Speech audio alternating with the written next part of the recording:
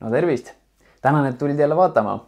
seekordne osa on just do it yourself inimestele ehk kui kinnisvara sai ise müüki pandud ja ostja ka juba leitud, millised toimingud sealt edasi peaksid tulema, et müük siis ka ära vormistada. kui siis ostja on leitud, ütleb, et tahab, siis minu esimene soovitus oleks bronni pakkuda. annab mõlemale osapoolele kindluse. ja liitkirjaliku bronni suhtumine on erinev aga mõtle sedasi, kui mingi raha on juba ette makstud, kuskil on allkirjad ka alla pandud. no otsus ilmselt on siis kindel ja asi läheb ka lõpule. ma arvan, meil mingi seitsekümmend protsenti tehingutest käib bronniga. muidugi, kui ostja on rahas, saab kohe notari leppida, asi käib kiirelt, siis sinna vahele ei ole mõtet lisasammu pressida. aga küsige ostjatelt bronni. lepingu põhja kindlasti netist midagi leiab või siis, või siis saate maaklerilt küsida okei okay,, kokkulepe nüüd olemas, ostjad tahavad osta, teie tahate müüa. nüüd edasi, ostja ilmselt hakkab mõtlema, kust raha kokku ajada. enamasti niikuinii pangaga. järgmise sammuna tulebki ostjatel laenutaotlus sisse anda, kui seda pole juba veel tehtud.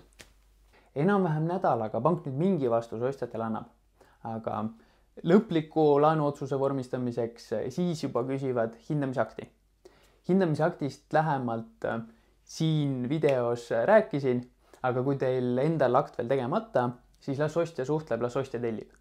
Teiega peab siis hindaja lihtsalt objekti ülevaatuseks aja leppima.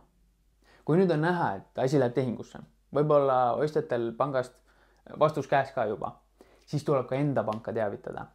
kui kunagi laenuga sai osta. isegi kui laen on tagasi makstud, aga kinnisvaral on hüpoteek ikka peal Äh, siis tulebki äh, panka tehingust teavitada, panga esindaja peab äh, tehingus osalema, kas siis hüpoteegi loovutama või üldse kustutama. hindamine võtab nädala, panga vastus ka nädala. aga kui nüüd nõusolekud on olemas, siis tuleb kõigile sobiv notariaeg leida.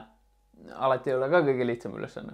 tihti see pank, kes ostjatele laenuotsuse väljastab, pakub juba ise koos laenuotsusega välja ka notari aja mis nende esindajale juba sobib. kui ostja selle nüüd teile välja käib, siis kindlasti käige see ka enda panga poolt läbi.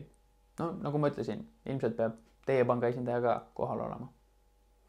võib ka notariaja ise leppida ja see ostjatele välja pakkuda, aga kindlasti veenduge, et kõik pangad oleksid teadlikud ja oleksid ajaga kinnitanud. kui notaris aeg lepitud, siis tavaliselt nad saadavad ise päringu, millist infot on vaja lepingu ettevalmistamiseks kui infot ei küsitud, helistage ise, küsige, mis info tuleb saata. tavaliselt nad äh, saadavad mingi kindla vormi, saate siis andmed kõik seal edastada. andmed saatke ja kindlasti ka siis kokkulepped, täpselt sedasi, nagu ostjaga olete leppinud. no võib-olla siin tuleb veel midagi teil omavahel üle täpsustada, et mis mööbel sisse jääb, väljakolimise aeg, võib-olla kes milliste puudustega tegeleb ja nii edasi veel enne tehingut kuskil päev-kaks varem saadetakse tavaliselt ka lepingu projekt tutvumiseks. ja ega nüüd muud, kui kõik notarisse kohale. ühisvarade ja abielu ajal soetatud varade puhul peaks tegelikult notar ise veel üle täpsustama kõik isikud, kes peavad kohal olema. aga kui siin mingeid küsimusi veel on, kindlasti küsige üle ja küsige üle ka kõik, mis lepingus segaseks jäi või mis te arvate, et äh, muutmist vajab alati on võimalik lepingus äh, muudatusi teha. päris tihti on veel kohti, kus äh, me kohapeal notaris osapooltega ühiselt otsustame ja palume lepingus muudatused sisse viia.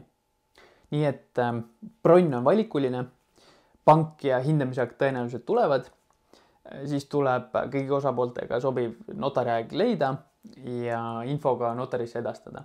midagi kartma tehingu vormistamisel ei pea ja alati on pangas äh, haldurid ja notaribüroos inimesed äh, valmis selgitama ja, ja abistama. loodan, et siit said ka kasulikku infot. tänan aja eest ja näeme jälle. tšau